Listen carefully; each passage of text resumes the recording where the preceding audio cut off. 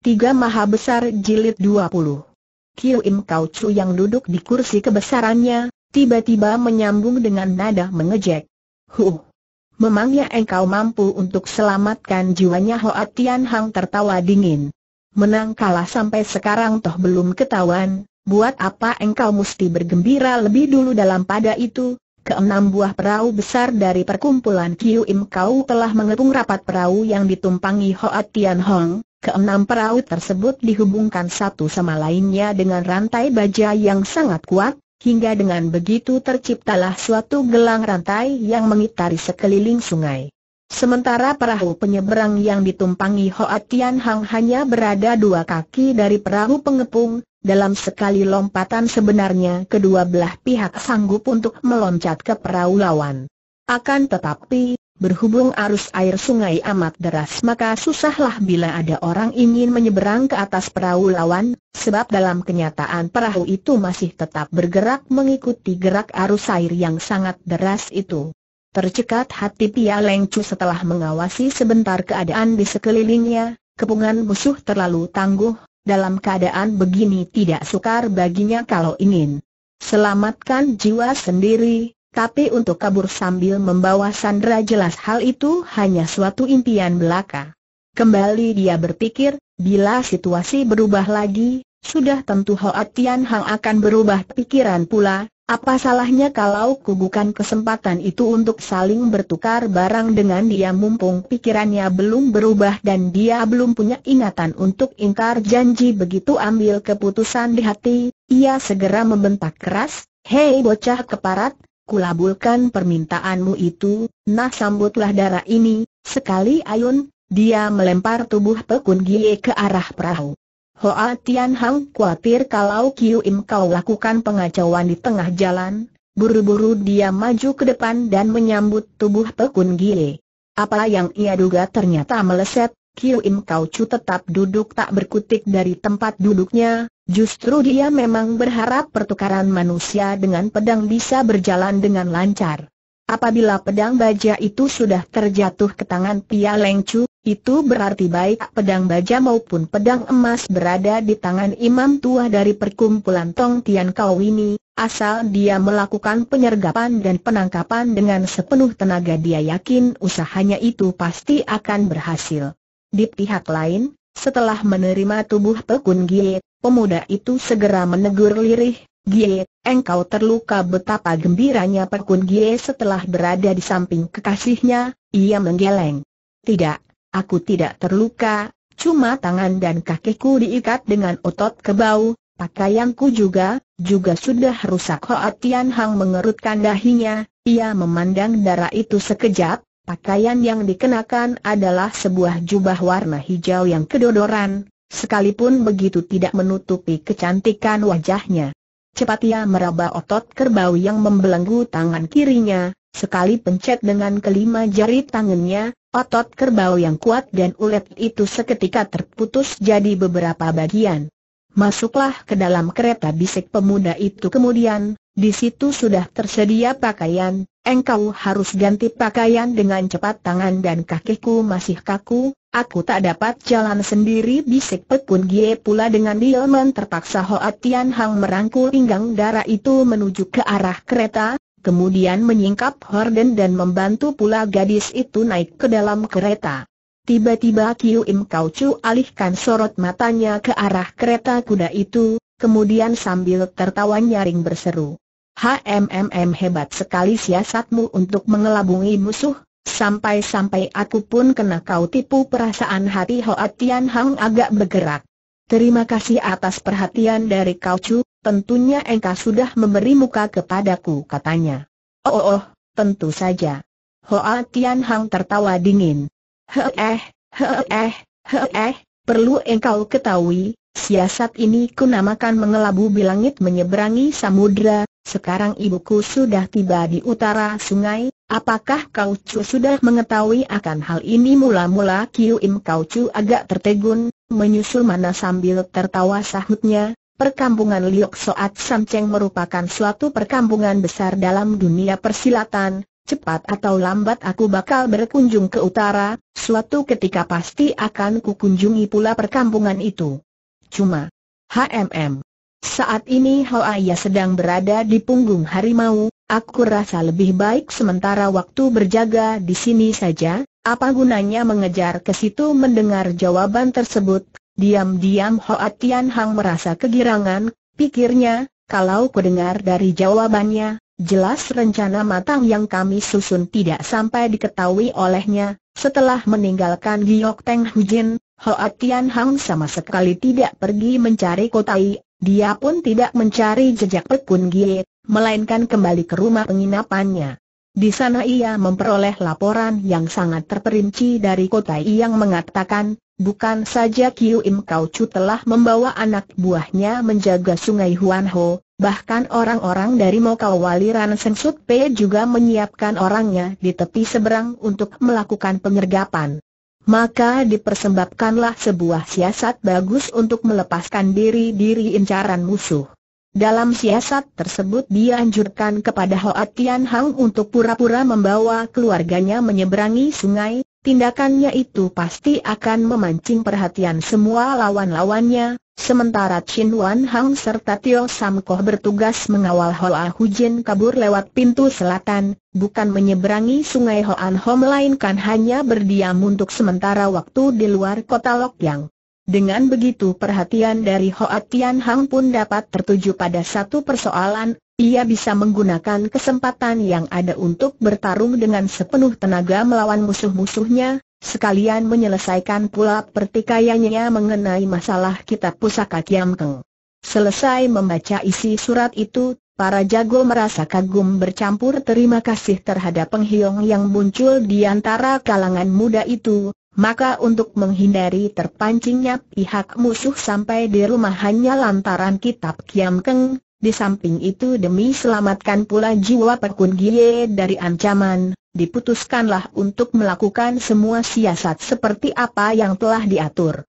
Begitulah, ketika kentongan ketiga sudah tiba, Hoa Tian Hong terlebih dulu meninggalkan rumah penginapan, tak lama kemudian Hoa Hujing di bawah lindungan Shin Wan Hang serta Tio Sam Koh, dengan membawa serta Xiao Doji segera ngeloyor keluar dari rumah penginapan dan diam-diam kabur menuju ke pintu kota sebelah selatan. Walaupun semua persoalan telah diatur secara rapi dan sempurna, tak urung perasaan Hoa Tian Hang masih belum tenang, dia khawatir kalau sampai terjadi sesuatu hal di luar dugaan. Menanti Kiu Im Kau Chu telah memberikan tanggapannya dan pemuda itu yakin kalau siasatnya tak sampai bocor, perasaan hatinya baru lega sama sekali. Oh, oh, oh, oh, oh, oh 71 sementara itu api obor telah menerangi seluruh jagat, membuat suasana di sekitar sungai jadi terang benderang bagaikan di siang hari. Tatkala dilihatnya paras muka Hoa Tian Hang menunjukkan rasa gembira, satu ingatan segera melintas dalam benak Kio Im Kau Chu, ia putar otak berusaha untuk memecahkan teka-teki itu, dia pun bermaksud memancing dari pembicaraan lawan, namun untuk sesaat ia tak berhasil menemukan kata-kata yang dianggapnya cocok. Tiba-tiba terdengar pria Lengcu membentak dengan gusar, Hei manusia si Hoa perkataan seorang lelaki sejati berat laksana bukit, engkau punya muka atau tidak? Hoa Tian Hang tertawa, ia cabut pedang baja dari pinggangnya lalu menjawab. Rupanya sekalipun engkau harus adu jiwa, incaranmu atas pedang baja tak akan berubah Pialeng makin naik darah, teriaknya, Pek Xiao Tian angkuh dan tak pandang sebelah mata kepada orang lain, apa sangkut pautnya antara engkau dengan dia? Kenapa mesti kau campuri urusan pribadiku toh putrinya yang kubekuk, HMM? Engkau sendiri yang setuju kalau pedang ditukar orang, memangnya aku paksakan pakai kekerasan. Dalam keadaan yang sangat tidak menguntungkan itu, kegagahan dan kejantanannya lenyap tak berbekas, sekalipun ucapannya masih keras dan ngotot akan tetapi wajahnya tak urung ikut berubah jadi merah padam. Berbicara menurut peraturan yang berlaku dalam dunia persilatan, pertikaian antara Pek Xiao Tian dengan Pia Leng Chu sebagai sama-sama umat persilatan dari golongan hitam, Hoa Tian Hang tak berhak untuk ikut ambil bagian, kalau tidak maka dia akan dituduh orang sebagai pemuda yang ikut campur dalam urusan orang karena terpikat oleh pipi licin, perempuan.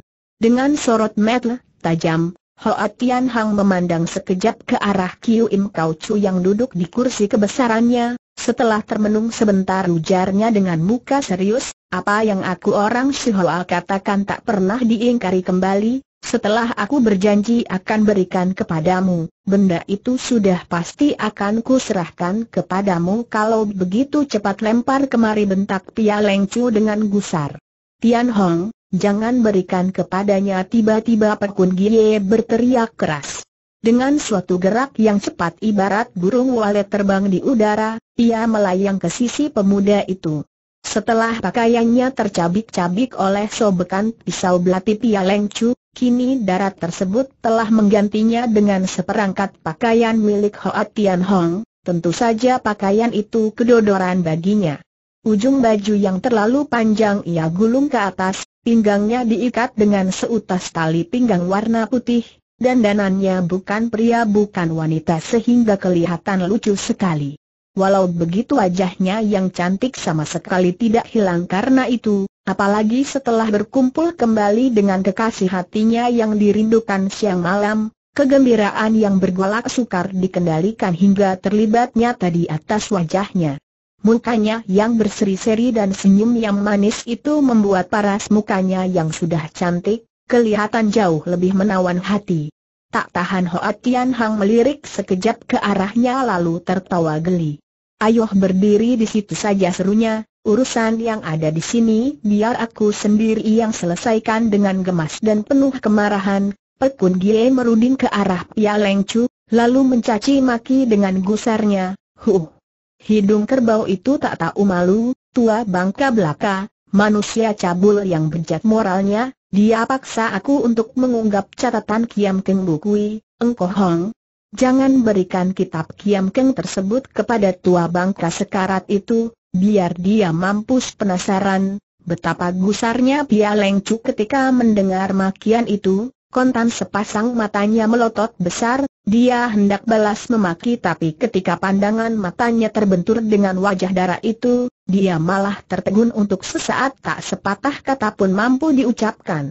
Perlu diketahui, sewaktu Pia Leng Chu berada berduaan dengan Pekun Gie tadi, berhubung ke satu ruang loteng itu, kecil lagi gelap, Kedua Pekun Gie lagi uringan dan penuh menaruh perasaan benci dan dendam, maka yang tertampak oleh Pia Leng Chu ketika itu hanya potongan badannya belaka, kecantikan yang sesungguhnya dari darah itu sama sekali tidak kelihatan. Lain halnya dengan keadaan waktu itu, meskipun ia sedang mencaci maki Pia Leng Chu, akan tetapi ucapan itu ditujukan kepada Hoa Tian Hong, dalam pandangan imam tua itu terlihatlah betapa cantik jelita darah itu sekalipun sedang memaki orang mukanya berseri manis, kerlingan matanya menawan hati ditambah pula suaranya lembut seperti genta membuat orang terkesima jadinya. Dasar seorang imam cabul yang gemar main perempuan, ia Leng Kontan merasakan jantungnya berdebar keras, ia benar-benar terpersona, apalagi terbayang kembali lekukan-lekukan tubuhnya yang putih, halus dan padat berisi itu, tanpa sadar jantungnya berdebar keras, hampir saja ia lupa sedang berada di sana. Hoa Tian Hang sendiri ketika mendengar perkataan dari Pekun Gie, sikapnya tetap halus dan sekulum senyum tersungging di ujung bibirnya, tapi begitu menjumpai keadaan Pia Leng Chu yang kesemsem dengan mimik wajah yang menakutkan, timbul kembali hawa amarah dalam hatinya. Ia segera ulapkan tangannya dan berseru.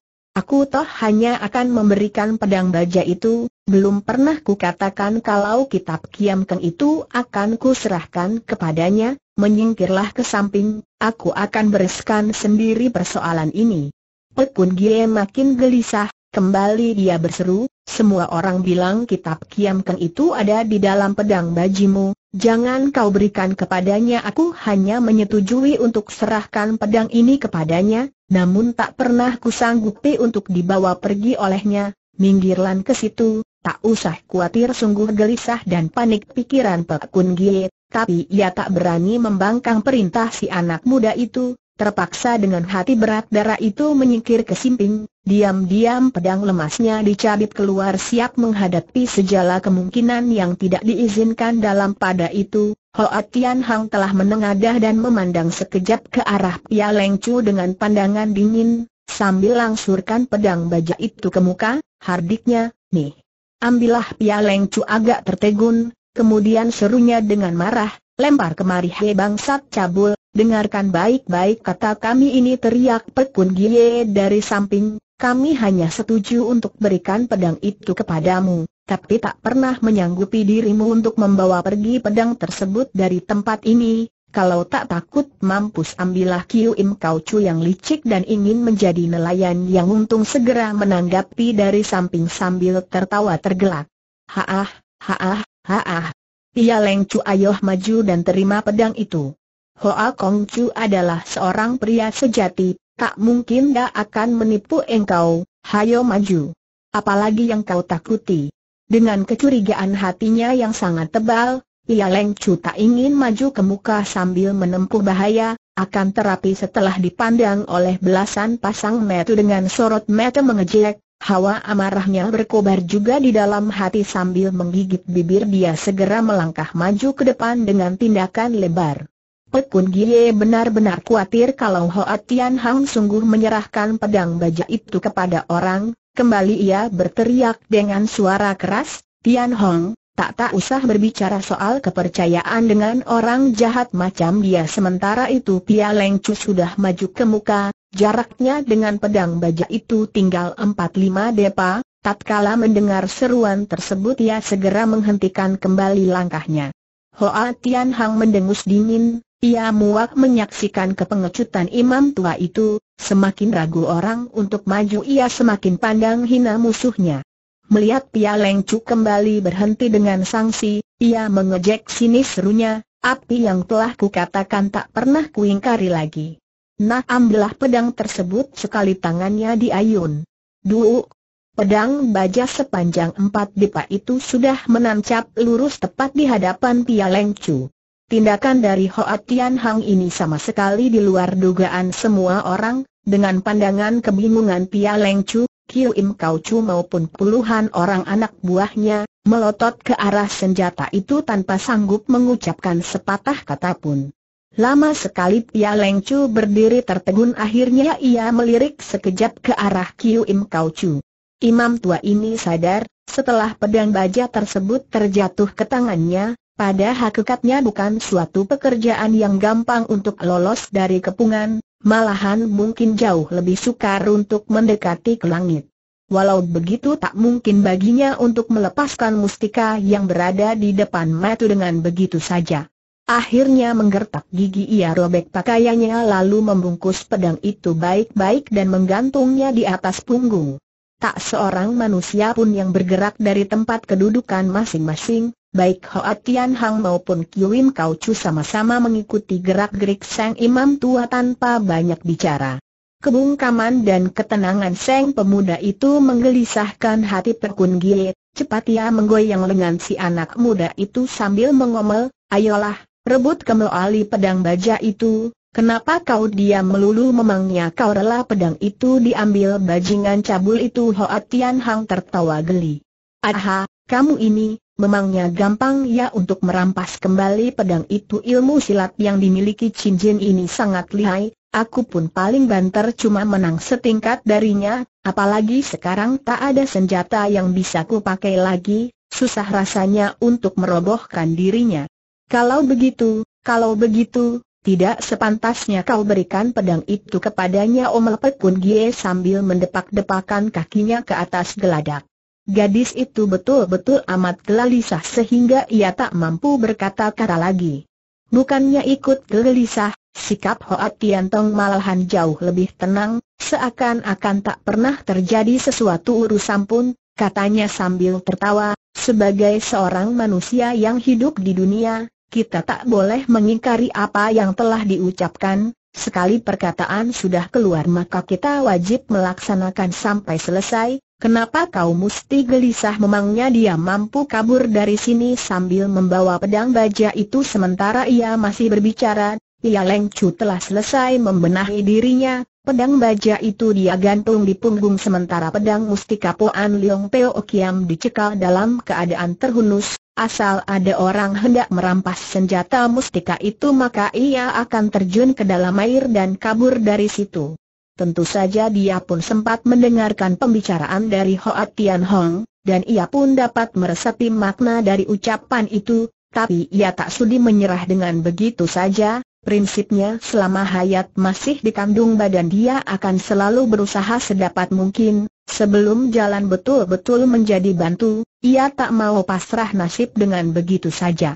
Sekalipun dia sudah membenahi diri dan siap kabur, Hoa Tian Hang sama sekali tidak menggubris dirinya, Kiu Im Kau Chu sendiri pun tetap duduk tak berkutik di tempat semula, seakan-akan mereka sama sekali tak pandang sebelah mata pun atas kejadian tersebut.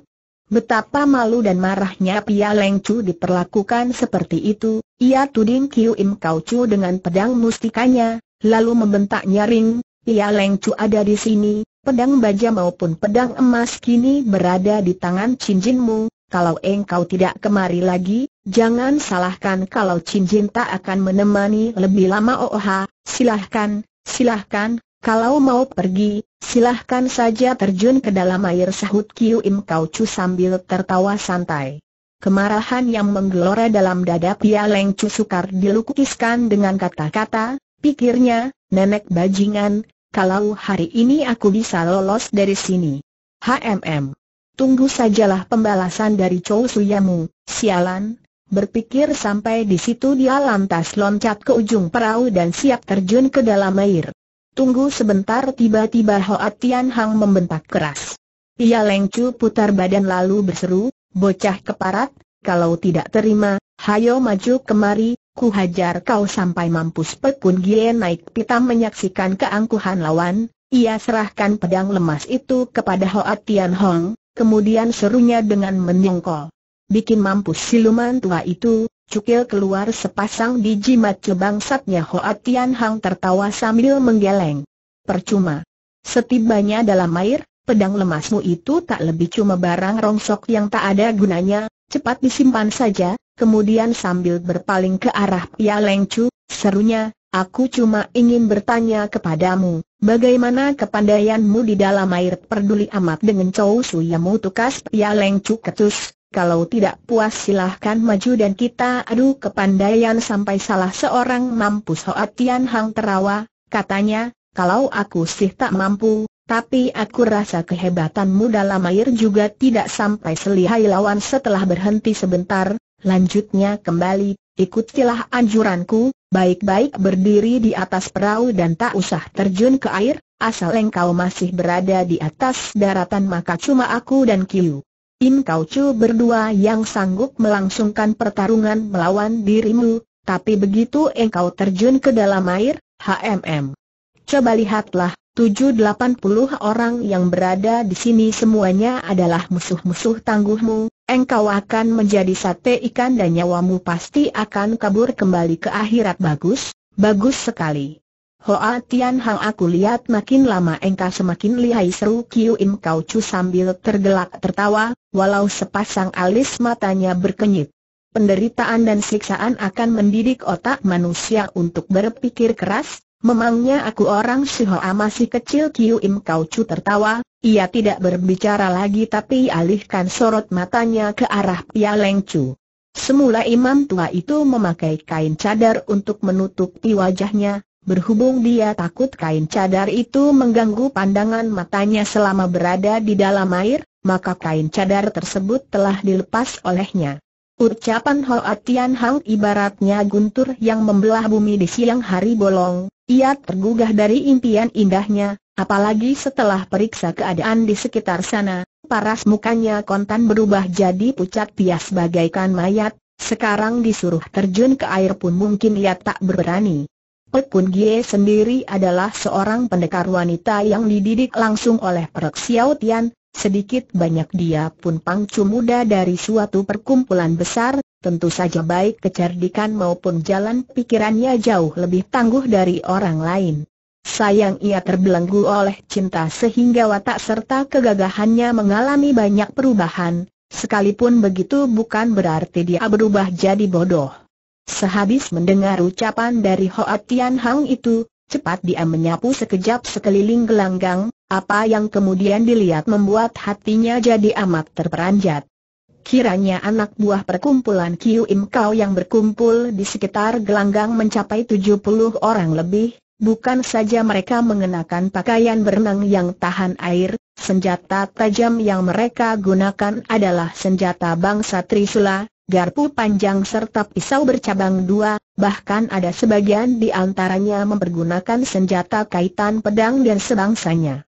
Dari sini dapatlah diketahui kedudukan masing-masing orang, yang bersenjata trisula atau sebangganya jelas. Merupakan jago-jago lihai di dalam air, sedang senjata pedang atau sebangsanya adalah jago-jago di atas daratan. Organisasi yang diatur dengan begitu rapinya ini menunjukkan pula betapa cakapnya Kiu Im Kau Chu mengatur anak buahnya. Belum habis rasa kaget dan curiga terlintas dalam benak imam tua itu, tiba-tiba Kiu Im Kau Chu tertawa tergelak sambil berkata, Iya Leng Chu, kalau engkau bersedia masuk ke dalam perkumpulan Kiu Im Kau Cha, aku bersedia pula memberi kedudukan yang tinggi kepadamu. Hek eh, hek eh, heh, omong kosong tukas Pia Leng Chu dengan cepat. Kiu Im Kau Chu tidak menjawab lagi, dengan seenaknya dia ulapkan tangan dan berseru, lubangi perahu mereka berbareng dengan selesainya ucapan itu, seseorang loncat masuk ke dalam air dengan gerak cepat, Begitu gesit dan lincah gerakan tubuh orang itu, jelas dia adalah seorang jagoan kelas satu. Pekun Gie menggenggam tangan Hoa Tian Hang erat-erat, kemudian bisiknya dengan cemas, mereka akan melobangi perahu kita, ayo kita terjun saja ke dalam air, dalam pada itu dari dasar perahu sudah kedengaran suara ayunan kampak yang menggoncangkan seluruh perahu tersebut. Bagaimana dengan kepandaianmu di dalam air? Tanya Hoa Tian Hang sambil tersenyum. Biasa-biasa saja jawab sang gadis terteguna Ai, akulah yang sudah mencelakai dirimu. Tiba-tiba matanya jadi merah dan air mata jatuh berlinang. Eh kita toh belum tentu mati, kenapa kau mesti menangis Shibur Seng anak muda sambil tertawa. Dia lantas berpaling ke arah Kiu Im Kau Chu dan berkata, Kau Chu, Sebelum pertemuan Kian Chiao Tai Hwe diselenggarakan, apakah perkumpulan selalu beroperasi di atas samudra Kiu Im Kau Chu tersenyum kemudian menghela napas panjang. AAI 29 tahun berselang perkumpulan Kiu Im Kau terdesak dan tak dapat berdiri lagi dalam dunia persilatan, terpaksa kami mundur ke tengah samudra dan hidup selama 17 tahun di antara daratan dan lautan, sekaranglah kami baru dapat hidup kembali di atas daratan mungkin selama ini kalian hidup di selatan, makanya jarang sekali orang persilatan yang ada di daratan Tionggoan mengetahui akan kejadian tersebut kembali Kiu Im Kau Chu mengangguk sambil tersenyum. Memang begitulah kenyataannya suatu benturan keras memotong pembicaraan yang berlangsung, Ternyata dasar perahu itu sudah berhasil dilubangi sehingga air sungai segera mengalir masuk sedalam perahu. Kecuali Hoa Tian Hong, Pekun Gie dan Pia Leng Chu, di atas perahu itu masih terdapat sebuah kereta besar serta dua ekor kuda penghela. Karena air sungai mengerangi perahu itu, tentu saja kedua ekor kuda yang berada di atas geladak jadi meringkik ketakutan, binatang itu berloncatan ke sana kemari dengan panik, membuat perahu Iiu semakin oleng jadinya. Dengan perasaan menyesal Hoa Tian Hang memandang sekejap ke arah kuda-kuda itu, kemudian pikirnya, arus sungai sangat deras, tak mungkin kuda-kuda itu sanggup berenang ke tepian, lebih baik ku lepaskan saja tali pengikatnya sehingga mereka bisa berloncatan dengan lebih leluasa. Karena berpikir demikian, dia pun loncat ke depan dan melepaskan tali pengikat kuda itu. Ia lengcu teramat benci terhadap diri Kiu Im Kau Chu, dengan seram ia tertawa panjang kemudian serunya, Hei, Kiu Im Kau Chu. Katanya perkumpulan Kiu Im Kau mengembara selama 17 tahun di atas samudra, lalu 12 tahun kemudian kalian bersembunyi di mana paras muka Kiu Im Kau Chu berubah jadi dingin menyeramkan, dia cuma melotot dan sama sekali tidak menjawab. Keadaan dari Pekun Gie saat itu ibaratnya burung kecil yang jinak, ke mana pun Hoa Tian Hang pergi dia mengikuti terus di sampingnya, sekalipun mereka ada dalam keadaan bahaya, rejeki ataupun bencana sukar diramalkan, namun matanya tetap berseri-seri, sekulum senyum manis menghiasi bibirnya. Sambil menarik ujung baju Seng anak muda, tiba-tiba ujarnya sambil tertawa, Kiu Im Kau Chu tak berani mengakui letak sarangnya, engkau tahu kenapa dia tak berani menjawab? Memanya kenapa tanya Hoa Tian Hang keheranan. Dia khawatir kalau engkau menyerbu ke dalam sarangnya Hoa Tian Hang tertawa tergelak karena geli. Haah, hah, haah, kamu ini kok ada-ada saja, ngaco belo sementara itu Kiu Im Kau Chu telah berseru pula sambil tertawa, Pekun Gie, kalau engkau bersedia menjadi muridku, semua ilmu kepandaian yang kumiliki akan kuwariskan kepadamu. Tapi kalau engkau menampik terpaksa akan kusuruh engkau mati di dasar sungai dan menjadi santapan gorombolan ikan HMMM. Kalau memang jantan ayo kita berdua di atas daratan tantang Pek Kun Gie sambil cibirkan bibirnya, kalau engkau bisa kalahkan kami berdua, aku pasti akan angkat engkau sebagai guruku. Tiba-tiba terdengar ledakan keras menggema dari dasar perahu, sebuah lubang besar kembali muncul di dasar perahu penyeberang itu, air sungai mengalir masuk makin deras, kuda-kuda itu meronta makin kuat, kereta besar itu telah roboh terbalik, tampaknya sebentar lagi perahu itu bakal tenggelam ke dasar sungai. Ia lengcu berdiri di ujung perahu, Sementara Hoa Tian Hong sambil memegang pergelangan tangan Pekun Gie berdiri di sisi perahu, mereka sama sekali tidak bergerak sementara sorot matanya mengawasi gerak-gerik di sekitarnya untuk mengikuti situasi. Tiba-tiba Pekun Gie membentak nyaring. Hei hidung kerbau! Kembalikan pedang baja itu, kalau tidak engkau akan mampus tenggelam di dasar sungai Tia Leng Chu menggerakkan bibirnya seperti mau mengucapkan sesuatu, tapi tak sepatah kata pun yang mampu diutarakan keluar, dalam situasi yang sangat gawat ini dia tak berani pecahkan perhatian, semua konsentrasi ditunjukkan ke satu arah. Kembali Perkun Gie berteriak dengan suara lantang, kembalikan pedang baja itu kepada kami, akan kami tahankan Kiu Im Kau Chu bagimu asal engkau dapat menyingkirkan musuh-musuh yang lain, maka silahkan terjun ke air dan kabur, tanggung harapanmu untuk hidup tetap ada. Mendengar perkataan itu, Kiu Im Kau Chu tertawa terbahak-bahak. Haaah, haaah, haaah, budak cilik, sungguh bagus akal dan idemu itu tiba-tiba perahu yang mereka tumpangi bergetar keras, Menyusul perahu itu tenggelam dua depa ke dalam air, begitu air sudah menggenangi seluruh ruangan perahu, dengan sendirinya perahu itu pun tenggelam ke dasar sungai makin cepat. Tiba-tiba Pia Leng Chu enjotkan badan dan melayang ke arah perahu musuh yang ada di sebelah timur. Bentakan-bentakan keras menggelegar di angkasa, para jago yang ada di atas perahu sama-sama ayun senjata mereka menyongsong kedatangan tubuh imam tua itu, Maksud mereka hendak paksa Sang Imam tercebur ke dalam air sungai. Di antara kawanan jago yang hadir dalam gelanggang waktu itu hanya Kiu Im Kau Chu dan Hoa Tian Hang yang paling disegani Pia Leng Chu, sementara sisanya yang lain sama sekali tak dipandang barang sekejap pun olehnya. Begitu mencapai permukaan perahu dia langsung ayun pedangnya membantai kawanan jago itu, ia telah mengambil keputusan untuk berusaha membasmi anak buah Kiu Im Kau Chu sebanyak mungkin, sehingga daya tekanan yang muncul dari kawanan jago itu bila dia sampai tercebur ke dalam air tidak sampai terlalu besar. Pedang pusaka Boan Leong Peo Kiam diputar sedemikian rupa hingga menciptakan selapis biang lala hijau di tengah udara, kemudian secepat kilat mengurung batok kepala musuh-musuhnya. Perahu yang ditumpangi Kiu Im Kau Chu berada di sebelah barat, sedang perahu yang ada di sebelah timur hanya ditumpangi oleh kawanan jago yang berkedudukan paling rendah serta berilmu silat paling rendah.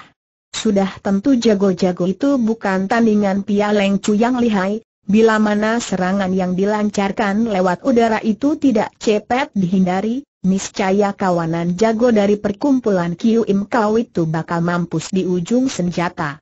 Kiu Im Kau Chu yang berada agak jauh dari sasaran tak mungkin bisa memberikan pertolongannya, terpaksa ia berseru keras, buyar perintah inilah yang sedang ditunggu-tunggu kawanan jago tersebut, secepat kilat mereka menghindar ke samping dan bubar ke empat penjeru.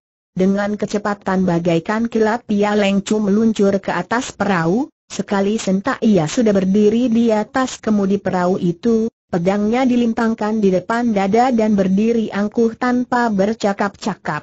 Kakinya yang pincang belum sembuh 100%, Walaupun begitu sama sekali tidak mempengaruhi kelincahan tubuhnya, semua gerak-gerik dilakukan dengan kecepatan bagaikan sambaran kilat.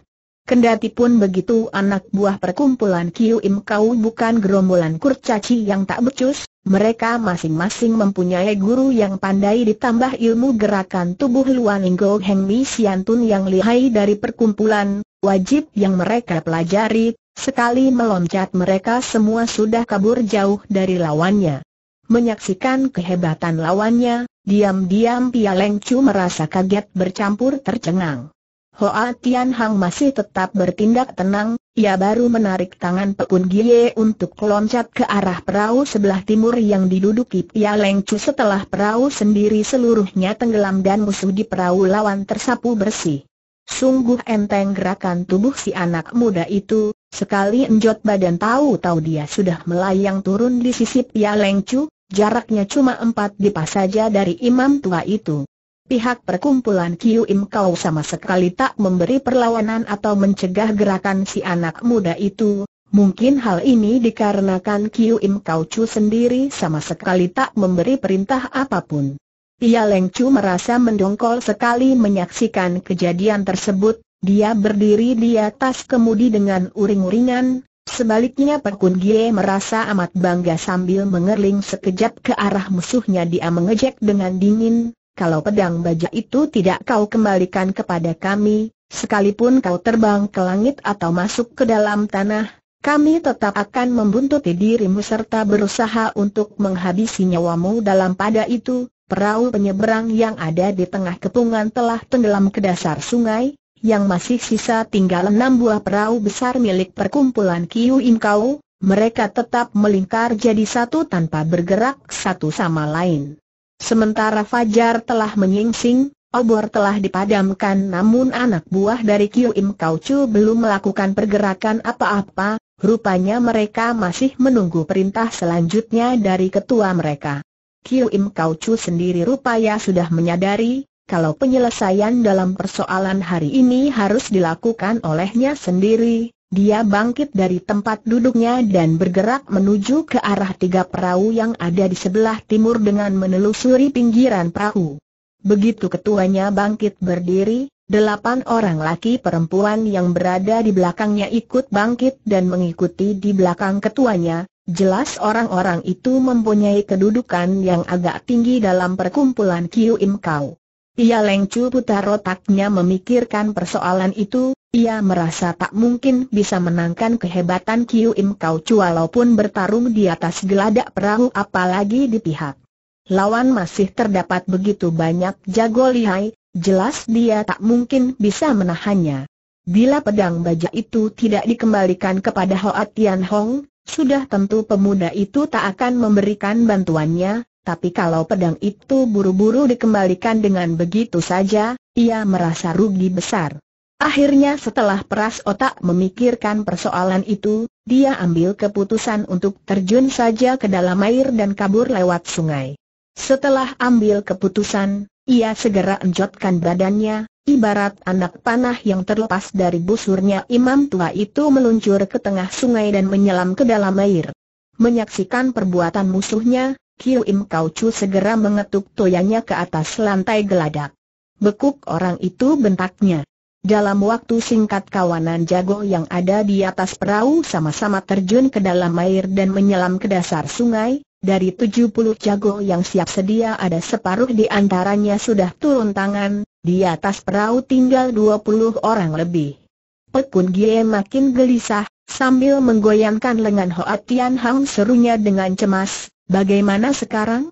Pedang baja itu tak boleh sampai lenyap, jangan biarkan senjata itu terjatuh ke tangan musuh Hoa Tian Hang tertawa getir. Sekalipun tak boleh hilang, apa daya kita sekarang?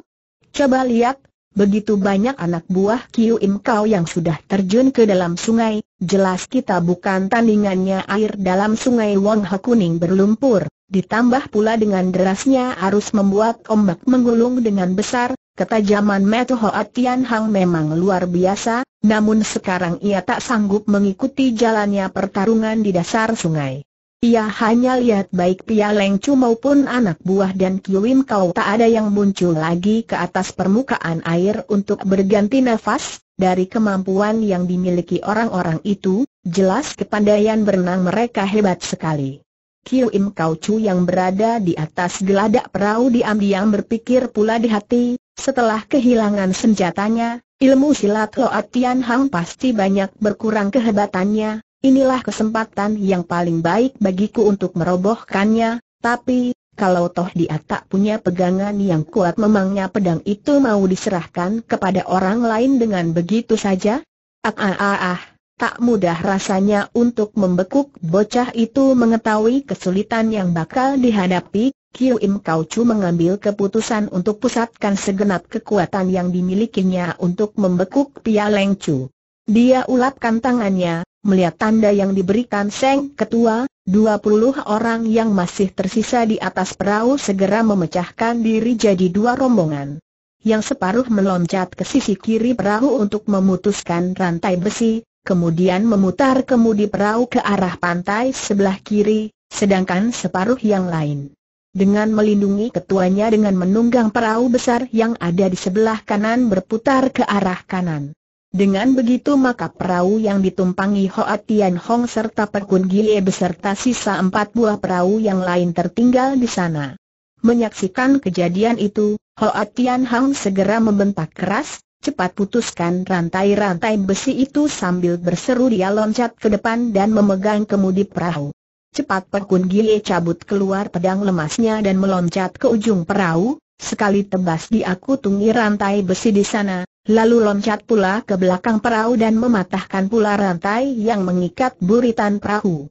Dengan sorot mata yang tajam Hoa Tian Hang menyapu permukaan sungai, waktu itu ada sebagai anak buah perkumpulan Kiu Im Kau Chu yang munculkan diri di atas permukaan air untuk tukar napas, ditinjau dari posisi mereka, semuanya berada kurang lebih 8-9 kaki di sebelah kanan.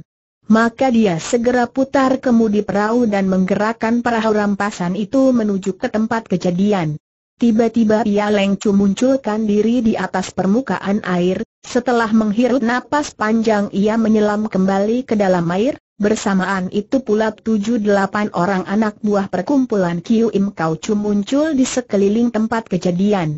Melihat kesemuanya itu paras muka Pekun Gie berubah hebat. Oh oh oh, sungguh lihai serunya, kalau keadaannya begini terus, jelas tak ada harapan bagi Pia Leng Chu untuk kabur dari tempat ini engkau bisa pegang kemudi tiba-tiba Hoa Tian Hang bertanya dengan muka murung. Pekun Gie mengangguk, ia segera pegang kemudi perahu. Jangan terlalu mendekati mereka perintah Hoa Tian Hong, Hati-hati kalau pihak Kiu Im kau melubangi dasar perahu kita lagi bicara sampai di situ ia lantas menyingkap bajunya dan cabut keluar sebuah senjata trisula yang tajam dan loncat ke tepi perahu. Tian Hang jangan terjun ke dalam air pekik pekun Gie sangat khawatir. Aku tahu jawab Hoa Tian Hang sambil mengangguk. Sementara itu perahu yang ditumpangi Kiu Im Kau Chu sudah bergerak menuju ke pantai sebelah kanan, Sedangkan perahu yang ditumpangi Hoa Tian Hang masih ada di tengah sungai, pertarungan yang berlangsung dalam air terjadi di tengah sungai antara kedua buah perahu itu. Sisa perahu yang ada di sebelah kiri berjaga-jaga pada jarak kurang lebih delapan kaki dari gelanggang pertarungan, berada dalam keadaan seperti ini sulitlah bagi Pia Leng Chu kalau dia ingin kabur ke atas daratan. Untuk bertarung dalam air, maka pertama itu harus tinggi dalam teknik berenang kedua dia harus punya ketajaman mata yang luar biasa, dan ketiga harus tahan lama berada dalam air. Uatung Pia Leng Chu mempunyai kepandaian berenang yang lihai, kalau tidak ia tak akan berani mengejar Hoa Tian Hang ke tengah sungai menumpang sampan kecil. Sekalipun dia lihai, jago-jago dari perkumpulan Kiu Im Kau banyak sekali jumlahnya, Rata-rata mereka pun berilmu tinggi dalam soal berenang, dalam waktu singkat ia sudah dibikin pusing tujuh keliling oleh kedahsyatan musuhnya. Ketika ia terjun ke air untuk kabur ke arah daratan tadi seorang kakek tua berambut putih segera mengejar di belakangnya, meskipun di tengah gulungan ombak dan aliran arus yang deras namun dalam jarak tiga kaki, orang itu masih sempat melihat jelas bayangan tubuh dari Pia Leng Chu. Belum sampai dua panahan jauhnya, imam tua itu sudah kena dihadang olehnya, baru bertarung lima gebrakan orang-orang dari Kiu Im Kau sudah mengepung di sekitar sana, dalam keadaan begitu sulitlah bagi Pia Leng Chu untuk kabur dengan leluasa. Di bawah pimpinan Kiu Im Kau Chu semuanya terbagi jadi dua istana dan tiga ruangan. Dua istana terdiri dari istana neraka atau Yeu Beng Tian serta istana siksaan. Tiam Chu yang memimpin ruang neraka adalah seorang perempuan, sedang Tiam Chu yang memimpin ruang siksa adalah seorang lelaki berusia 50 tahunan. Sedangkan ketiga ruangan itu terdiri dari ruangan Ing Kian Tong, Chuan Chu Tong, serta Sulitong.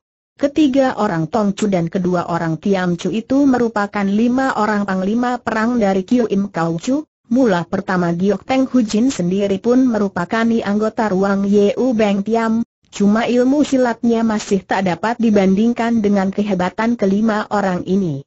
Baik kedua orang Tiam Chu maupun ketiga orang Tong Chu semuanya hadir dalam gelanggang saat ini, waktu diselenggarakannya pertemuan Kiam Chiao Tai Hwe mereka juga hadir cuma waktu itu dandanan mereka aneh-aneh persis dengan makhluk halus. Dan hari ini mereka mengenakan pakaian sutra hitam yang perlente, dengan ikat kepala warna hitam pula, jangankan Hoa Tian Hang sekalipun Pia Leng Chu juga tidak mengenali identitas mereka. Pada waktu itu ketua istana neraka bertugas menjaga di perahu sebelah kiri untuk menghalangi niat kabur pria Leng Chu menuju pantai utara, Tiam Chu ruang siksa, Ing Kiam Tong Chu serta Suli Tong Chu bertugas melindungi keselamatan Kiu Im Kau Chu sedangkan tugas menangkap orang dalam air diserahkan kepada Tong Chu ruang penyebaran ajaran. Formasi ini sebenarnya diatur khusus untuk menghadapi Hoa Tian Hong, tapi yang masuk perangkap sekarang bukanlah si anak muda itu melainkan Pia Leng Chu.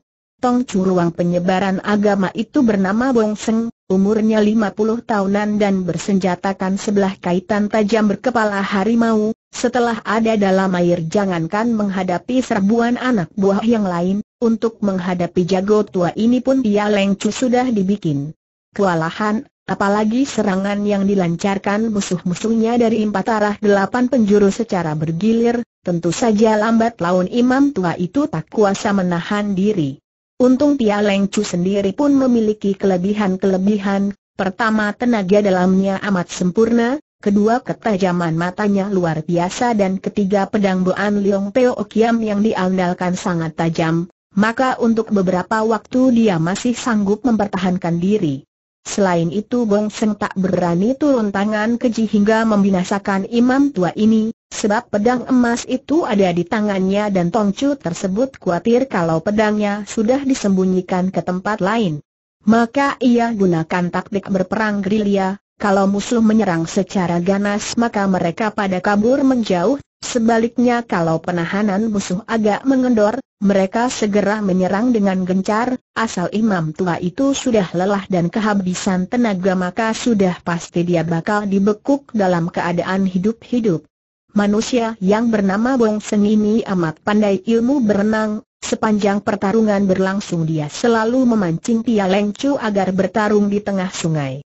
Pia Leng Chu buta arah yang ada di sekitarnya, boleh dibilang ia tak tahu di mana kini posisinya waktu itu, setelah bertempur beberapa saat ia merasa hawa murninya hampir habis, Cepat pedang mustikanya diayun keluar menyingkirkan ancaman musuh kemudian menyusup keluar dari permukaan air sungai.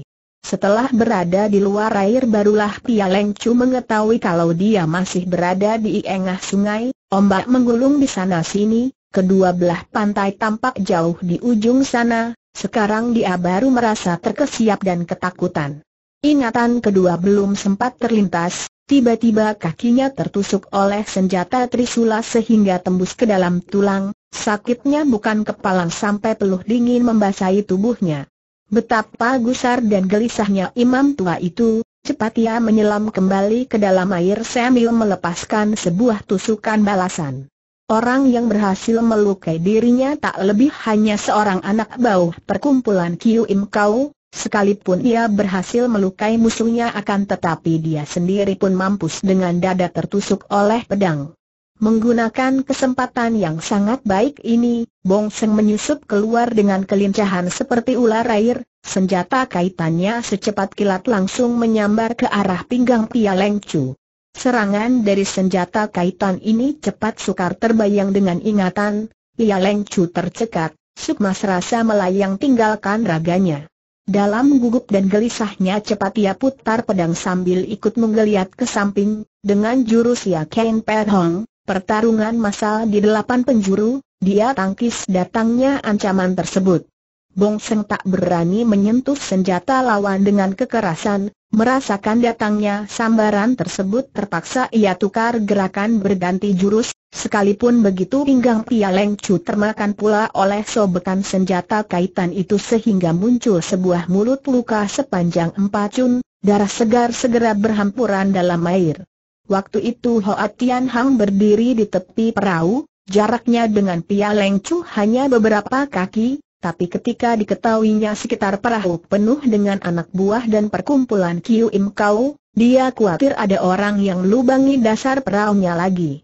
Cepat dia memberi tanda kepada Pek Kun Gie dan perintahkan dia untuk menjauhi tempat kejadian, tiba-tiba ia Leng Chu menyusup keluar dari permukaan air, lalu serunya dengan suara lantang, Hoa Tian Hang si anak muda itu agak tertegun, Sebelum ia sempat buka suara imam tua itu sudah menyelam kembali ke dalam air. Pekun Gie putar kemudi perahu itu dan menggerakkan perahunya ke arah pantai sebelah kiri, serunya dengan nyaring, selama gunungan hijau, kita tak usah bakal kehabisan kayu bakar, lebih baik kita mendarat dulu kemudian baru berusaha untuk merebut kembali pedang baja itu pertarungan yang berlangsung dalam air telah mencapai puncak ketegangan, Punggung Pia Leng Chu kembali tersambar oleh senjata kaitan Bong Seng, meskipun lukanya tidak terlalu parah namun nyalinya benar-benar telah pecah. Ia merasa keselamatan jiwanya jauh lebih penting daripada segalanya, maka begitu menyusup keluar dari dalam air kembali ia berteriak keras, Hoa Tian Hang jangan kita gubris dirinya cepat Pekun Gie berseru. Hoa Tian Hang mengerutkan dahinya, kemudian menjawab, Kun Gie, dekatkan perahu kita ke sana. Kita tak boleh menolong siluman Tosu itu. Seru gadis itu sangat gelisah, kalau tidak maka kita pasti akan terseret ke dalam bencana, dia toh sudah mohon kepada kita, tak mungkin kita berpeluk tangan tanpa memberikan bantuannya, lagi pula pedang baja itu toh lebih baik kita ambil kembali dari tangannya, daripada mesti merampas pakai kekerasan dan kekuatan sembari berkata ia lantas menyambar sebuah gala yang panjang dan mengawasi keadaan di tengah sungai dengan seksama. Pekun Gie tak berani membantah perintah si anak muda itu, terpaksa ia putar kemudi dan jalankan perahu itu mendekati kembali gelanggang pertarungan. Tiba-tiba Kiu Im Kau Chu berseru dengan nada menyeramkan, Hoa Tian Hong, engkau sudah bosan hidup rupanya engkau sendiri yang pingin mampus balas Pekun Gie dengan penuh kemarahan. Hoa Tian Hang sendiri cuma tertawa getir dan tidak menjawab. Sekarang siapa pun dapat melihat kelihayan dari perkumpulan Kiu Im Kau, bagi Hoa Tian Hang jangankan kabur dari situ, untuk menyelamatkan diri sendiri pun masih merupakan suatu tanda tanya besar. Berada dalam keadaan begini, tentu saja mencampuri urusan orang lain berarti mencari jalan kematian bagi diri. Sendiri, apa yang diucapkan Kiu Im Kau Chu sedikit pun tidak salah.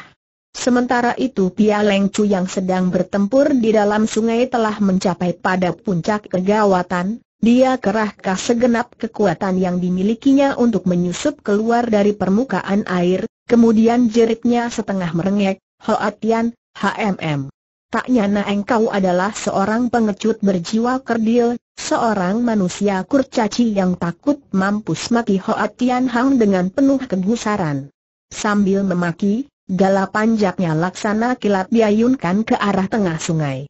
Keadaan dari Pia Leng Chu sudah payah sekali, bagaikan orang tenggelam yang mendapat pertolongan, cepat dia menubruk ke arah tongkat gala yang diulurkan ke arahnya itu. Ketiga buah jari tangan kirinya sudah terpapas kutung, waktu itu masih dibalut dengan kain, dalam gugupnya terpaksa ia buang pedang pusaka Boan Leong Teo Hiam ke dalam air dan mencekal gala panjang itu erat-erat. Naik bentak Hoa Tian Hang sambil menyentak gala panjang itu ke angkasa 0000000072 mengikuti getaran tersebut. Ia Leng melesat ke tengah udara dengan membentuk gerak setengah lingkaran busur, begitu mencapai permukaan geladak ia lepas tangan. Dengan lemas, sambil duduk bersila di ujung perahu, napasnya ngos-ngosan seperti kerbau.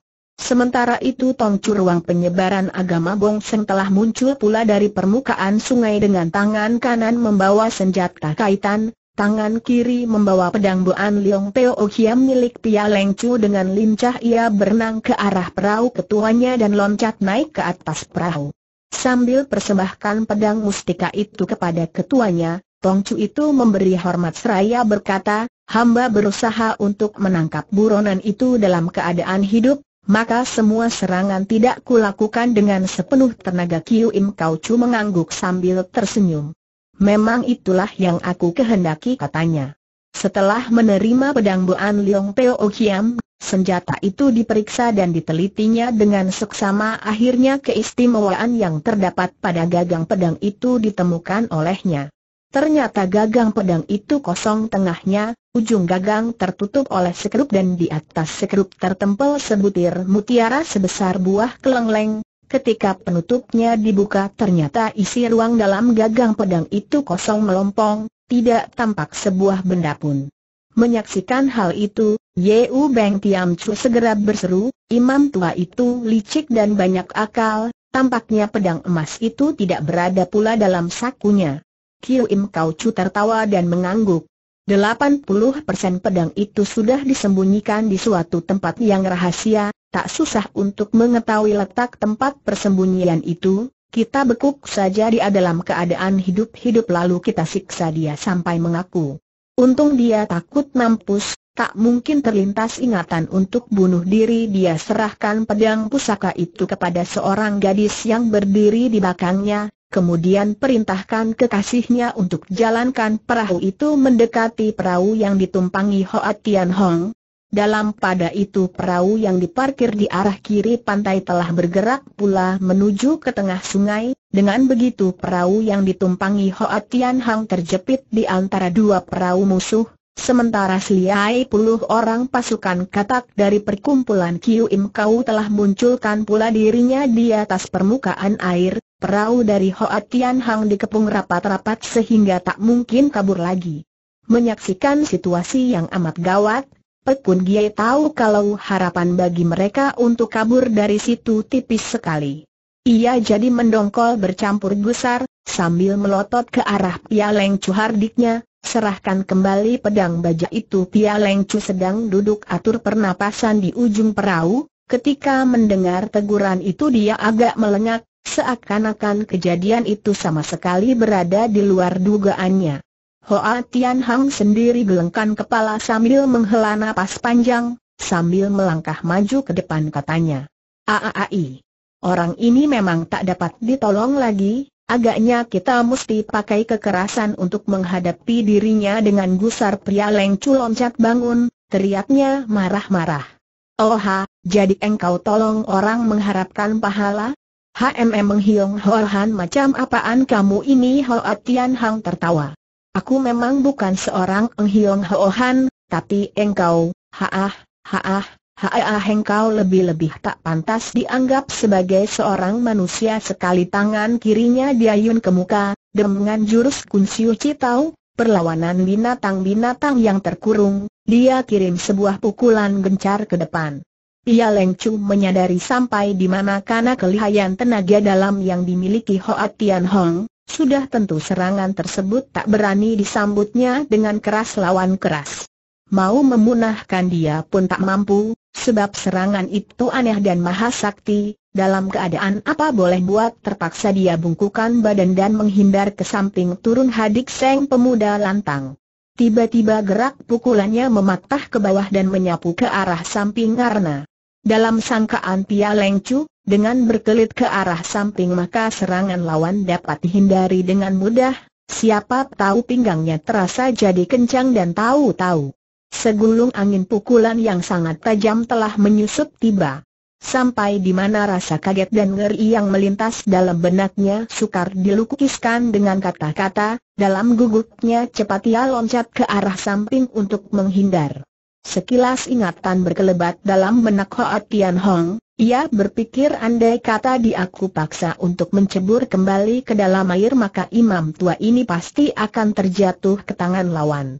Aai selama berada di sungai aku memang tak bisa bergerak dengan leluasa, tempat ini merupakan daerah kekuasaan dari Kiu Im Kau Chu, kendati pun pedang baja itu dapat kurebut kembali belum tentu aku mampu melindunginya, lebih baik sementara waktu ku biarkan dulu di bawah siluman tosu ini, berpikir sampai di situ, ia lantas tarik kembali telapak tangannya sambil membentak, kembali pada hakikatnya intisari dari kepandaian silat yang dimiliki malaikat pedang Giko berbunyi demikian, wujud pedang mengungguli tiada pedang, pedang berat mengungguli pedang enteng, dan semua keunggulan dan keampuhan dari pelajaran itu sudah tercantum dalam catatan Kiam Keng Bukwi. Karena itu apa yang merupakan inti pelajaran dari catatan Kiam Keng Bukui tidak lebih adalah pelajaran-pelajaran tentang mengangkat yang berat ibarat ringan memunahkan yang kuat menjadi lunak. Hoa Tian Hang telah mempelajari isi dari catatan Kiam Keng Bukui tersebut, hal ini membuat permainan ilmu pedangnya yang semula kuat dan penuh tenaga menjadi enteng dan lincah, sedikit pun tidak terpengaruh oleh emosi malahan kelihatannya sangat enteng, padahal kalau benar-benar dihadapi barulah terasa sampai di manakah kedahsyatan daya hancur yang dimiliki dari permainan pedangnya itu. Justru karena ia telah memahami intisari dari taktik perubahan lunak dan keras itu, maka dengan sendirinya permainan ilmu pukulan yang dia miliki pun ikut mengalami perubahan. Perlu diketahui jurus Kun Siu Tau itu diciptakan oleh Chiu Rit Bong, tapi dalam permainan Hoa Tian Hang sekarang baik dalam gerakan maupun dalam hal perubahannya hanya sebagian yang masih bertahan, sedang dalam soal kekuatan tenaga, cepat lambatnya gerakan serta tipu daya serangan tersebut telah mengalami perubahan yang sangat besar, bahkan boleh dibilang bertolak belakang, walaupun begitu justru daya kekuatannya malah jauh lebih mengerikan.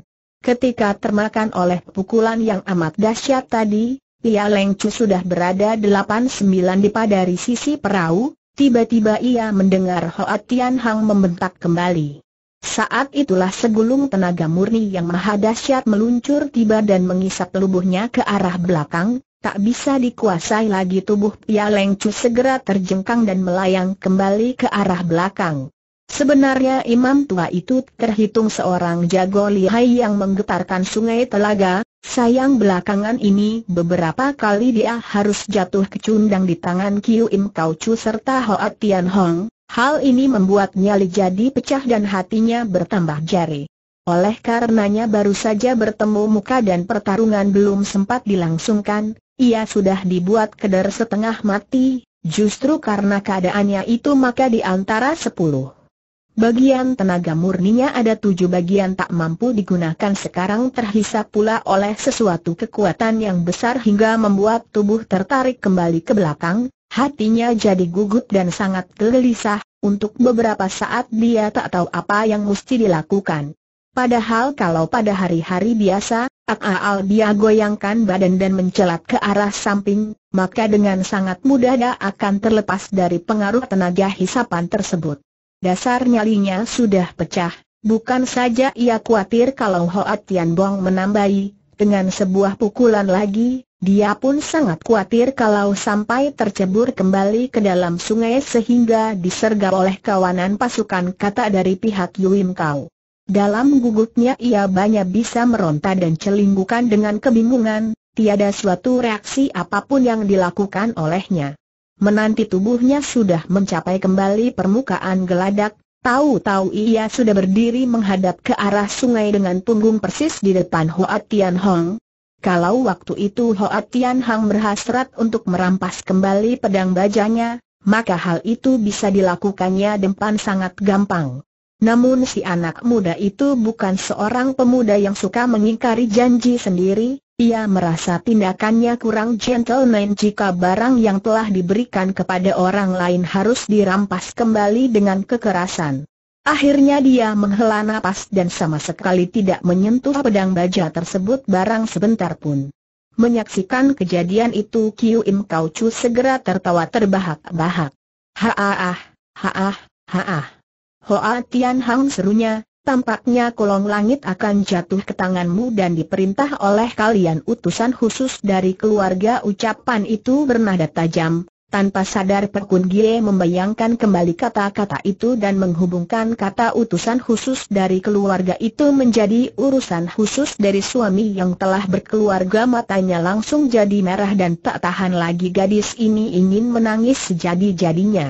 Namun akhirnya hanya titik air mata yang jatuh berlinang membasahi pipinya, dengan suara ketus ujarnya kepada Kiwim Kaucu, Huuh, Engkau membawa senjata toya kepala setanmu, sedang pedang baja kami telah diambil oleh seorang manusia yang tak tahu malu, anak buahmu banyak tak terhitung sedang kami cuma berdua.